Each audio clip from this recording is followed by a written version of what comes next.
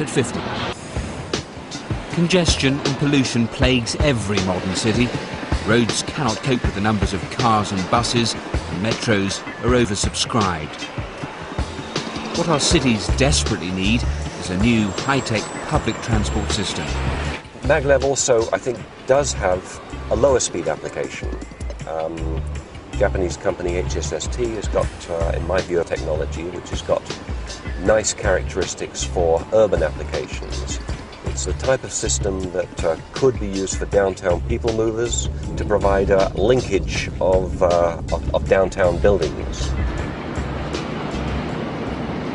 It may not be as swanky as its big brother, but HSST works on exactly the same magnetic principles as its high-speed sibling.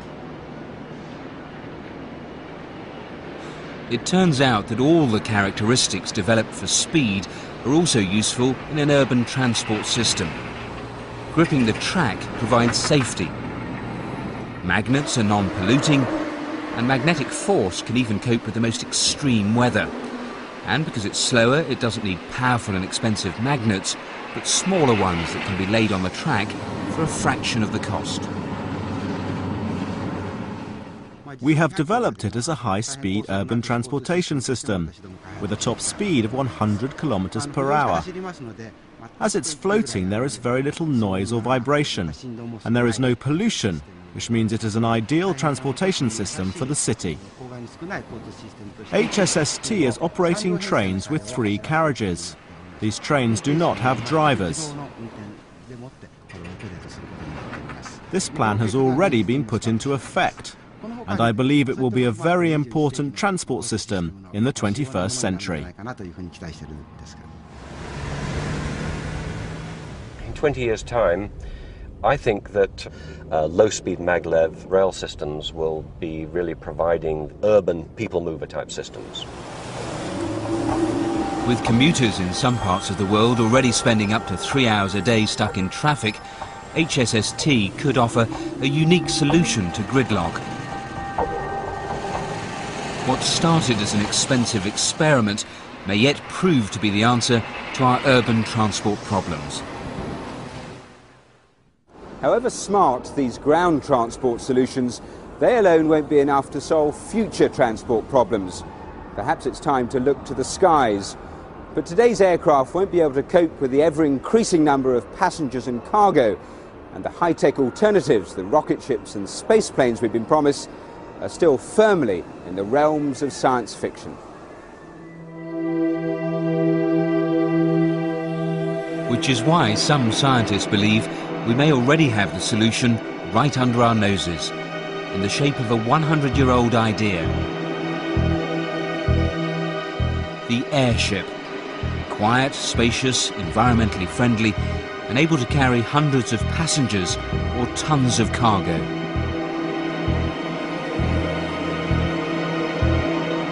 New era in giant airships is beginning back at the Zeppelin factory in Germany with the revolutionary LZ N07. The flight test phase is over, so it means we know everything of the behavior of the ship. And also we improved, of course, certain parts of the ship, uh, and we are ready for certification now. Zeppelin have used space-age materials and state-of-the-art engineering to construct their lighter-than-air craft which they predict will take the transport world by storm, just as airships like these did decades ago. Most of these early airships were rigid, with an elaborate internal skeleton of heavy metal beams. Their huge envelopes were filled with the lightest gas, hydrogen. But this design was fatally flawed. When the Hindenburg exploded into a fireball, it was the beginning of the end for the airship. As a result, today's airships, nicknamed blimps, have no practical use for transportation and are seldom more than floating billboards for advertising. Their simple structure is non-rigid, where only the internal pressure of the gas maintains the shape of the envelope. Zeppelin have pushed the boundaries of airship technology even further. Their new design is more than just a bag of gas, like a blimp, and lighter and more manoeuvrable than rigid airships. It combines the best of the past with the best of the present to create a revolutionary design for the future. Dr. Strata, Zeppelin's CEO, explains. This is a totally new approach, of course. The old Zeppelin was a rigid structure. The disadvantage of this structure is, of course, the weight. And if you're going to the aviation, always weight is a critical uh, parameter. And therefore, we look for extreme lightweight uh, design and construction. This is carbon fiber and that's the lightest material. And that means most of the parts are used from this uh, or made by this material. And the rest, where we need another stiffness parameters, is made from very light aluminium, of course. Everything which is common in aviation and space industry. I ask uh, always uh, people visiting uh, the, the company uh, what's the estimation of the weight and their estimation is 500 kilos, 700 kilos. And in reality, it's uh, 95 kilos. So that means you can see the differences. the Zeppelin's revolutionary design isn't just light. Its new propulsion system gives it greater safety and maneuverability than ever achieved before. We designed a new propulsion system, and you see propellers. And we have three engine groups on both sides and at the rear end. And these propellers are swiveling propellers. And that means we can start and land like a helicopter.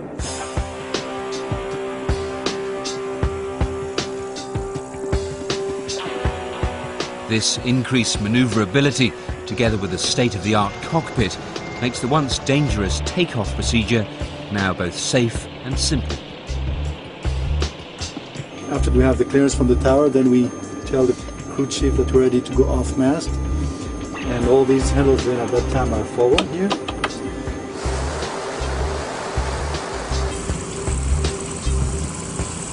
And then as we're ready to take off, we lift the vectors and give power with these when the ship lifts almost vertically. Zeppelin's new airship can transport 12 passengers at cruising speeds of 80 miles an hour future models could carry many more. But when it comes to solving future transport problems, Zeppelin's new passenger model is just the beginning. The real challenge for the future is cargo transport. If the burden of moving goods and machinery around the world could be taken off the roads, it might make travelling for the rest of us much more bearable.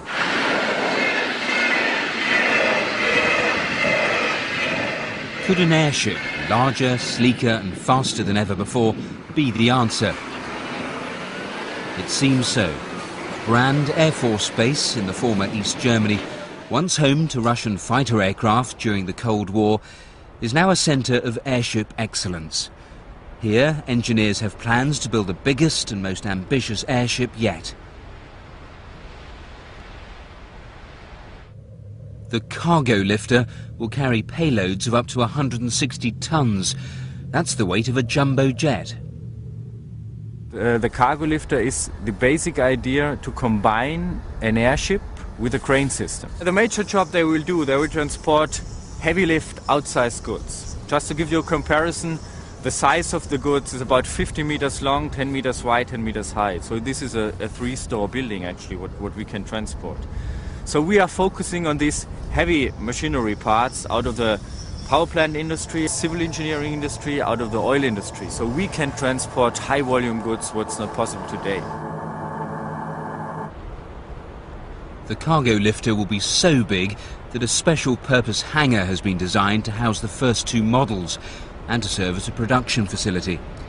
It will be the largest hangar on Earth. But before the full-scale cargo lifter can be produced, a smaller prototype model must be put through its paces to see if the new technology will work. This is the 1 8th scale model of the cargo lifter, affectionately named Joey. We are very satisfied with the flight tests we have done so far. Uh, Joey serves many important purposes for us in the development process and in the construction process of the cargo lifter because it was a, uh, a kind of rehearsal for us. Joey's success has allowed the engineers to begin production of the full-scale model.